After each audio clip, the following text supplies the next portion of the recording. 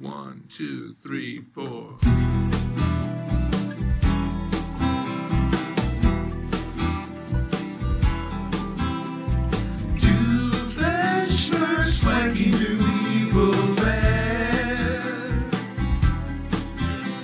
An even swap, a variation on a timeshare.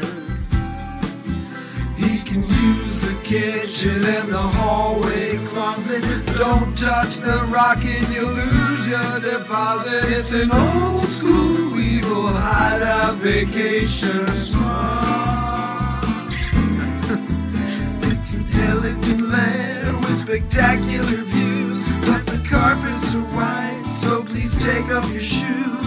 The wiring is new,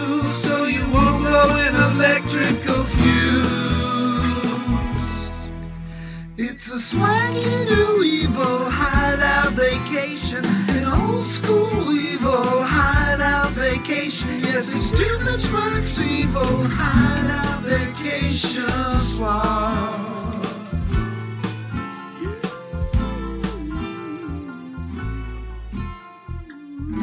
In case you didn't pick it up from the song, do not touch the rocket while we're here. I'll lose my deposit.